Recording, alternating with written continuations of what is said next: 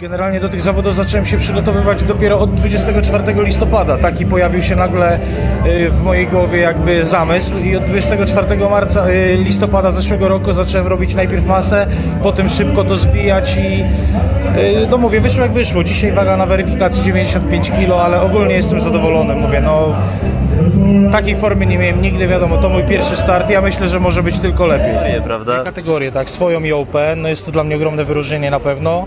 No i y, ogromna motywacja do dalszej cięższej pracy, tak, do, do pracy nad sobą i do rozwijania się no, w tej mojej muskulaturze. Czyli możemy teraz poznać jakieś tam twoje plany, no bo już, już, już pewne rzeczy zostały wyjaśnione.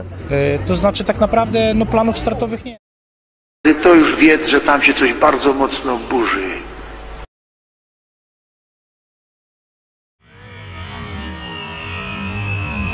To już wiedz, źle. Ja, danke schön an Steve Belkin und Micha Kramowski für das spontane